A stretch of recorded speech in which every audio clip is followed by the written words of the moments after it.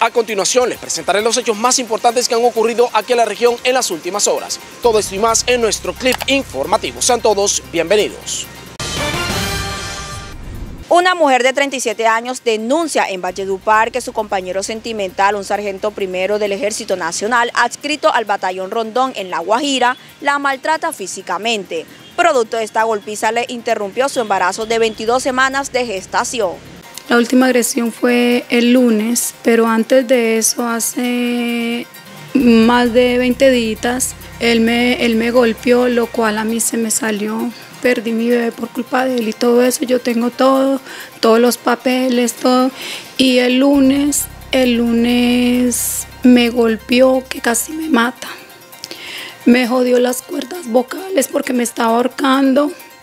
Me jodió la rodilla, el brazo, la cara, la espalda.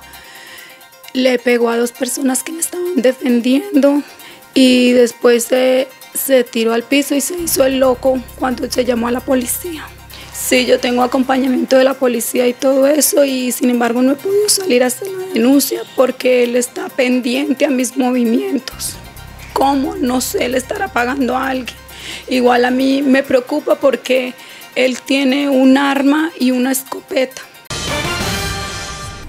Luego de los últimos casos de maltrato animal que se han registrado en la ciudad de Valledupar, el grupo Gelma de la Fiscalía invita a la ciudadanía a denunciar. Tenemos eh, en nuestra Fiscalía que es la destacada para conocer de esta, de esta clase de delitos, 72 casos que han sido denunciados. Invitamos a toda la comunidad para que denuncie a través de la línea 122 o a través de la página de la Fiscalía General de la Nación o de manera presencial en, las instalaciones del edificio Olimpia ubicado atrás de la Olímpica de la Ceiba.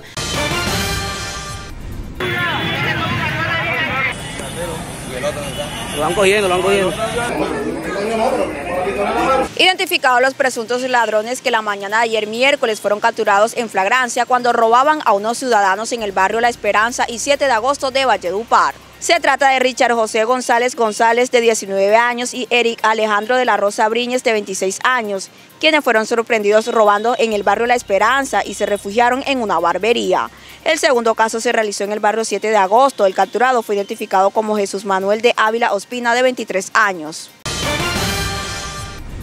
Trabajadores de las empresas mineras marcharon este jueves en los diferentes municipios del departamento del Cesar para exigirle al gobierno nacional y al Congreso de la República reconsidere la carga tributaria sobre el sector minero. Pero pues obviamente es un deterioro en la calidad del empleo, el riesgo inminente de que se cierren las minas, de que se cierren pues operaciones de las cuales eh, depende en gran medida el departamento, dependen las poblaciones circunvecinas, dependen muchas familias.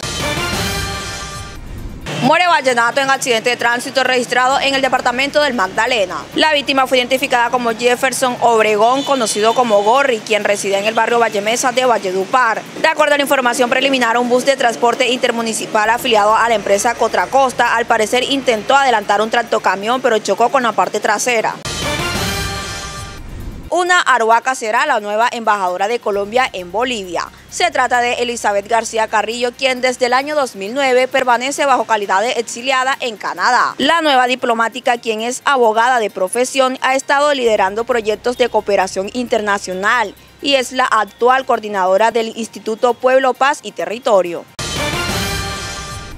De varios impactos con arma de fuego fue asesinado un hombre en el municipio de Astrea Cesar. La cesarense Marta Liliana Arevalo Acevedo, abogada y trabajadora social, fue designada como nueva directora territorial de Agencia Nacional de Tierras en Bogotá. Arevalo Acevedo ha dedicado sus últimos 10 años a trabajar por el restablecimiento de los derechos de las víctimas del conflicto armado y del despojo de tierras.